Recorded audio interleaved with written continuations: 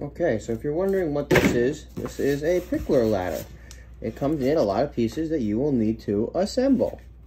This is a beech climbing toy, they call it. You can see it does come very well packaged. Everything has arrived quite safely. Uh, I'm guessing these are all the legs and where you'll attach the ladder pieces to. Um, so, you know, it does look very nice. Uh, it does come with instructions on how to assemble it.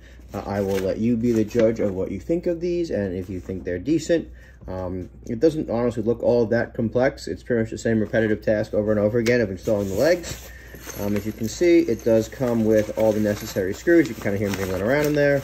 Um, we'll open the bag up over here. You can see all the screws and whatnot in there, along with the uh, screwdriver you'll need to assemble this. So it's good to have that around. Uh, yeah, so overall, it seems like a nice enough product. I'll need to assemble it, uh, you know, for kids play on it, obviously. So if you're giving it as a gift, you might want to do that in advance.